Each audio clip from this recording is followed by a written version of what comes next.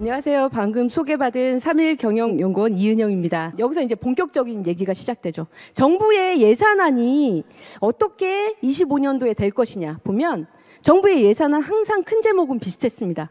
민생 안정, 경쟁 활력, 미래 기반의 뭐 확충 이랬습니다. 그런데 24년 올해에 특이한 게 하나 나왔어요. 예. PF가 너무 문제였죠. 리스크 관리라는 얘기가 나왔습니다. 그렇기 때문에 작년에는 우리가 여기에 돈 쓰느냐고 첨단 산업을 준비할 수가 없었어요. 그래서 R&D 비용을 줄일 수밖에 없었습니다. 그런데 이게 문제가 다 해소됐냐?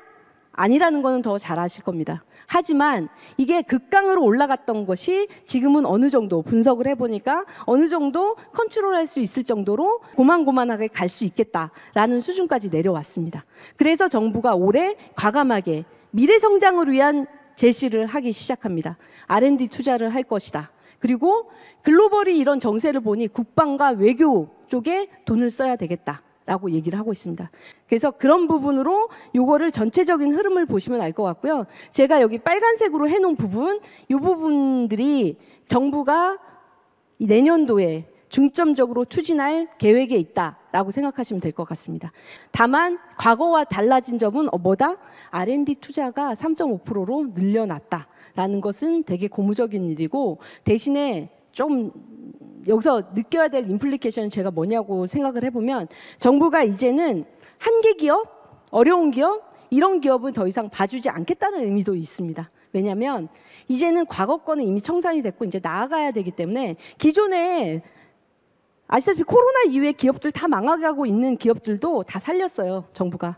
그래서 꾸역꾸역 왔습니다. 그런데 금리가 지금 인하하고 있고 글로벌 경제 자체가 이제는 더 이상 보호로 해줄 수 있는 때가 아니었기 때문에 지금부터는 기업이 각자 도생해야 된다는 의미도 됩니다.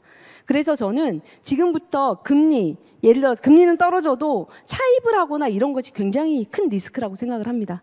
그래서 단단하게 내 곳간을 채워가면서 그 여윳돈으로는 미래 먹거리를 위한 준비를 해야 될 아주 중요한 타이밍이고 놓치면 굉장히 어려운 타이밍이다. 라고 생각합니다. 과거는 1년이 늦어도 괜찮았었거든요. 근데 이게 너무 급격히 변하다 보니까 3개월, 6개월 늦어도 이게 따라갈 수 없는 세상이 돼버렸더라고요.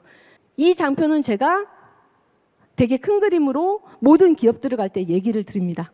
뭐냐면 지금 현재는 SOS의 시대다. 굉장히 지금 어려운 시대다. S가 뭐냐 하면 공급 제약도 있고요. 지금 현재는 서스테너빌러티 환경에 관한 문제가 있고요. O가 뭐냐면 인구 오너스 시대라고 있습니다. 부양 가족이 너무 많은데 생산 가능한 인구가 없습니다. 그래서 경제가 성장하지 않는 지금이 딱 SOS의 시대입니다. 이때 우리가 디지털을 기반으로 해서 AI와 디지털을 이용해서 어떤 비즈니스를 펼쳐야 할까? 정부의 얘기하고 비슷합니다. 저탄소. 이건 너무나 뻔한 얘기죠. AI, 바이오. 그리고 제가 엄청 관심 있어 하는 푸드테크입니다. 푸드테크는 대체육도 있고 로봇도 있고 굉장히 다양합니다. 대체육 이 비즈니스가 2020년에 성장하다가 경기가 안 좋아서 투자를 못 받아서 지금 꺾인 상태예요. 그런데 불과 한 3, 40년 후면 뭐 인구의 한 30% 40%가 먹거리가 없어진다고 합니다. 푸드테크가 왜 중요한지 사람이 입고 먹고 사는 거주하는 것 중에 가장 중요한 게 먹는 건데 이 먹는 거에 대한 비즈니스에 대해서 관심을 가져야 저는 향후의 미래 먹거리로서 또 하나의 굉장히 중요한 이슈다라고 생각해서 정부가 주장하는 첨단 기술에 있어서의 저희가 바라보는 육성해야 될 비즈니스는 이런 정도가 있다라고 말씀을 드리고 싶습니다. 수출 지원 확대.